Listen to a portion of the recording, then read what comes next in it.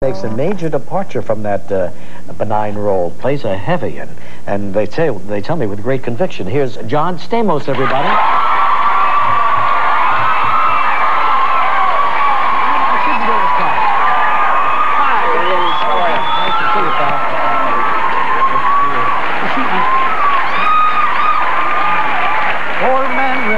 Look at all the hair You're he's getting got. Thin, I know, I know. It's over for me. You I see, got Sy Sperling's home phone number if you want to give him a call. You look good. any day now. Both do. You're both sex symbols. What the heck? See, I shouldn't wear a tie anymore. You don't need a tie. I- Wear your football tie and that's it. That's it. That's all I'm going to wear from now on. Hey, how you doing? Great. Okay. How you doing? See, but didn't you come on about a... didn't you come on about a year ago?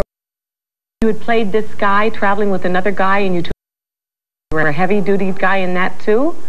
You were like a yes. drug guy and Yes. all of that? Yes. So this isn't the first time you've been playing a, a nasty guy. No. A- and what about Black? Blackie was He, sweet. but, but he, Blackie was lovable. yeah, but he had an edge to him too. I think he had Yeah. sort of an undercurrent there too. No, but Ba- Blackie wasn't evil. See, the casting guys are beginning to look at you out there and say, "Wait a minute, wait a minute. It's not Mr. Goody Two Shoes anymore. Right. There's uh, there's a I love this show. side." I love this show because you don't have to talk. That's you just right. come on. And- and- and- Why don't you just have a picture of me and just then go? Good idea. You wouldn't have to fly in. Yeah, but that's a great idea. Who People needs will these people? save on air Put travel. the picture here, and Kathie Lee and I will talk to the picture and to each other if you There don't you go. mind. That's a great idea. You don't need anybody. It's been great having John. Yeah, John. Thank thanks you. so Thank much. you. Thank you. Thank you. Now we just got back from Disney World, and I about that, huh? Yes. Yeah. Why are you jealous about that? No. It's, did you guys have a good time down there? Oh, We had a did. wonderful- But you're a big those uh, shows. fan. Grew up near Disneyland. Yeah. Mhm. Took all the dates there. You know, that was the kind of. Is that a great date place? It really loosens everybody up, doesn't it? Yeah, really. uh, I don't know. Soften her up with Mickey Yeah. Mouse and then move in for the kill.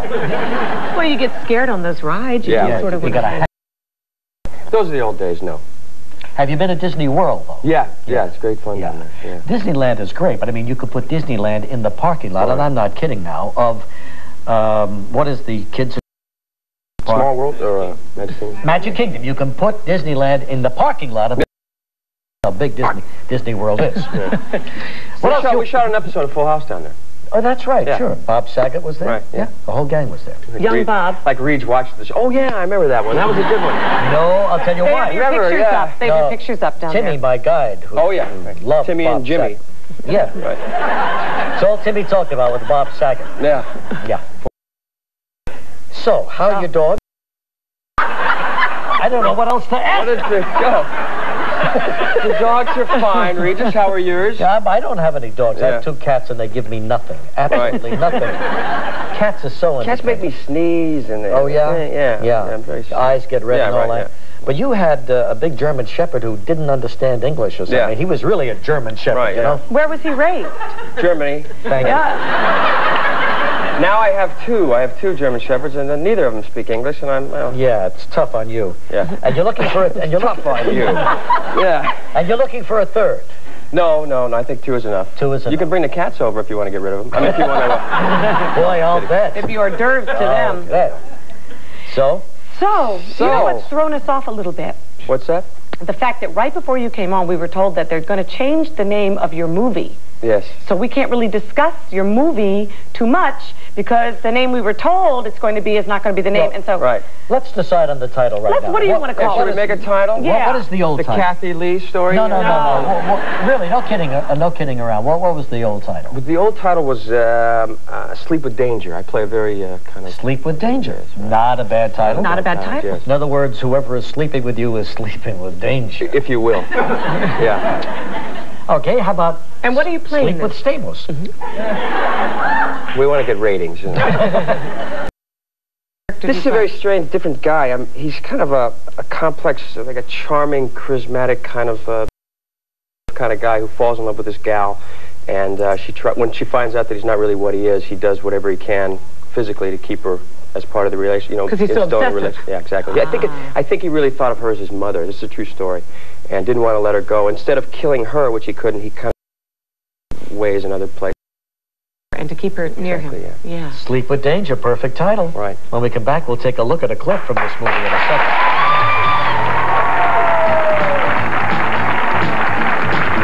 Still ahead on live, Alice Bunch and Yeah, that Huge, day with yeah. Tony Bennett and then Bon Jovi and all these guys are singing the, a tribute to Elvis. Oh, really? And you're Yeah. hosting it? Yeah, we're doing an ABC special Oh, and then great. a pay-per-view thing. Were you an Elvis fan? Yeah.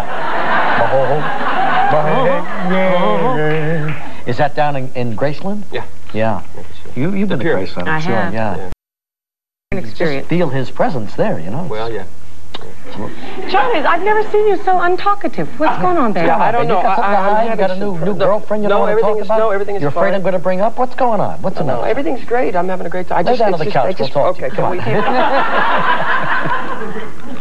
So this is a true story, this, uh, this TV movie. Yeah, Or based on a true story. right, yeah. It's Mm. pretty close. It was very close. I did some research before, and then I did a lot of research uh, afterwards. That was part of the, uh, I mean, after I took the role, that was part of the challenge, I think. You know, I spent a lot of time with the court, you know, the, the transcripts and the court TVs. So he did go and- to trial for So I all of yeah. This time, I went and talked to a psychologist, like why he would do these things and why he had these Hmm. killing feelings about him. He was molested by his father as well. Just you know, one more thing. Mm. Yeah. And then I went back the next day to the psychologist as the character and had him interview me as this Oh, guy. that so that was that was really interesting. helpful. That's good. Yeah. Uh, was he a serial killer? Yes. Wow. How many? Six, they think, but I think he got convicted for three. Yeah. And Yeah. probably more than that, you know, if the truth were known. Yeah. Cynthia Gibbs, uh, Gibb plays your wife in this, right? Right, yeah, she was very good. And she had to endure a lot because it's really a lot about spousal abuse, you know, Sure. and that was really a large part Oh, of so he this was guy. married to this woman. Yeah, Oh, he married her pretty fast. Yeah. All right. Well, here's John Stamos as Nick. The I think this is the end of the movie where they're starting to pressure him, you know, and he's starting to lose his cool. Being Okay. pursued by the police. Here we go. Nick, come sit down. Try to relax. I made you a nice dinner. Can't relax. How can I relax when I'm being harassed like this? Cops crawling all over the place. You bastards think you can pressure me, huh? Huh?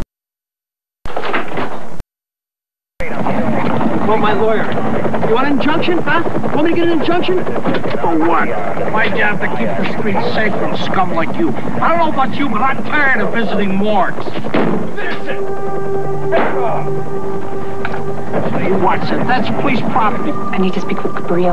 You want to take me in? I'll take you, I'm sure. I've been waiting for this. I've been absolutely waiting for it. Right here, take me in. You gotta get rid of your damn cops. They're making him crazy. we want him off balance.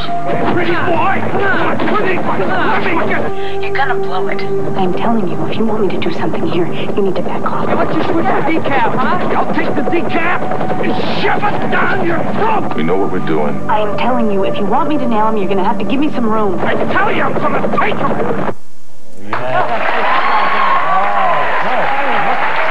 Into the character. Yeah, I was by that point. To leave a character like that at the Yeah. set. What's it like me a long work? time. Yeah, I, I went on right on tour with the Beach Boys afterwards, so I was playing a little more violent than I normally would. You know. Yeah. All right, we look forward to it, whatever the name is. It's coming up on October 25th on CBS. Right back with more, and more stories about showbiz. Tomorrow on Live from Blossom, Mayim Bialik.